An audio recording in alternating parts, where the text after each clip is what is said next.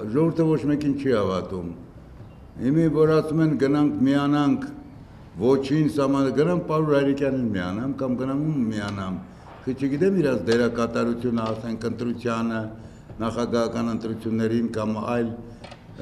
գործընթացներին պետք է այդպես չլինի։ Յուրաքանչյուր ազնիվ քաղաքացին Հայաստանի, յուրաքանչյուր կուսակցական կամ ոչ կուսակցական պետք է ըմբոստանա անարդարության դեմ, որը տիրում է, որը այսօր դարձել է Հայաստանում նորմ։ Վերջ է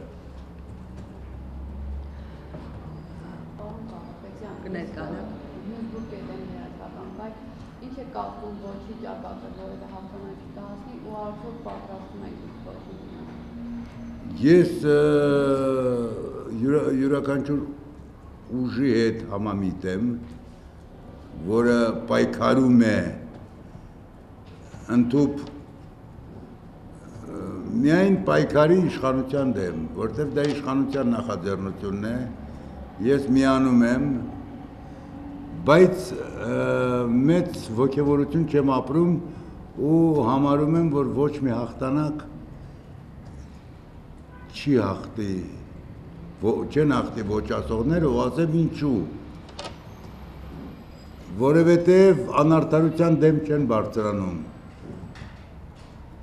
Հիմա քաղաքացին շատ է հասկանում, քաղաքացին կմտածի, ոչ, այո, ճիշտ է, շատերը դեմ են իշխանություններին, բայց էական բան չեն տեսնում ոչ այոյի մեջ, համանդրական բարեփոխումների։ Մանավանդ, որ մի քանի պետություն հաջողակ են անցկացրել նույն Վրաստանի մասին, որ ասեցին։ Դա ով լավ պատասխան, ես չեմ մտածում, որ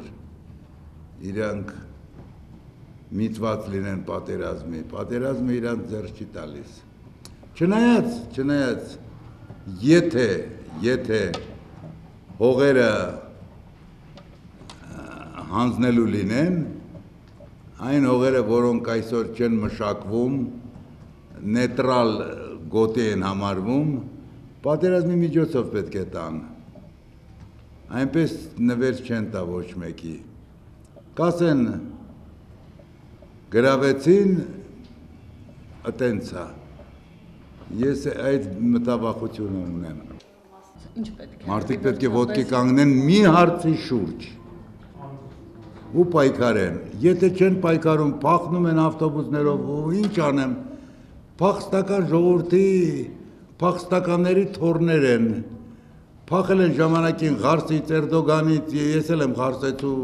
որդի, ուրեմն զգուշավոր ենք եղել, վախկոտ ենք եղել, չգիտեմ ինչ ասեմ։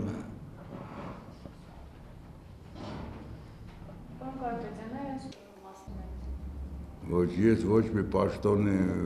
պաշտոնի մեջ ինձ չեմ տեսնում։ Չնայած կուսակցությանը շատ եմ ուզում որ կուսակցությունը առաջնային շարքերում լինի, որովհետև ես 8000 կուսակցական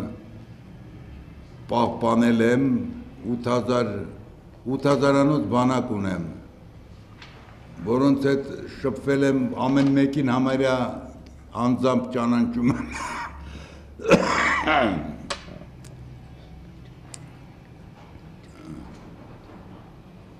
օրական հերախոսս զանգարում են մարդիկ հետաքրքրվում են ես ասում եմ իմ մոտեցումը